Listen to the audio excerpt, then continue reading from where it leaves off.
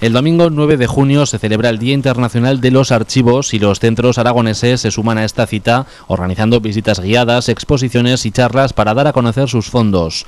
En esta ocasión toma el protagonismo la imagen, fija y en movimiento. En Tarazona tanto el Archivo Municipal como el Catedralicio y Diocesano abrirán sus puertas a todos los turiasonenses interesados. La próxima actividad cultural que organizamos desde la Fundación es la celebración del Día de los Archivos, que tiene lugar este viernes día 7.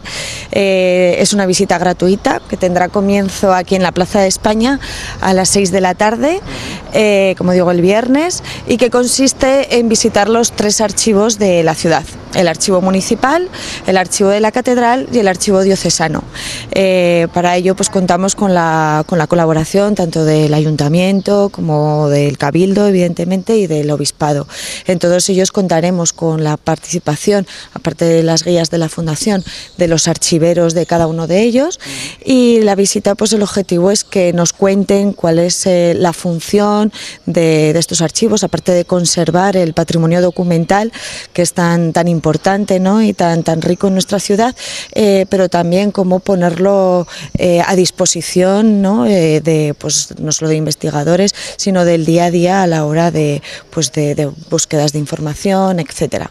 Entonces, bueno, pues consideramos que es una visita muy atractiva, ya se realizó el año pasado, el ayuntamiento lleva muchos años realizando puertas abiertas al archivo municipal pues, con motivo del, del Día Internacional de los Archivos y pues la Fundación nos queremos sumar a, esta iniciativa pues con una visita guiada, con una explicación eh, que una a los, tres, a los tres archivos principales para que la gente entienda cuál es el trabajo que se hace en ellos y cuál es el patrimonio documental que conservan. Una oportunidad, por tanto, pues para ver de cerca documentos históricos ¿no? y también importantes y en algunos casos muy antiguos.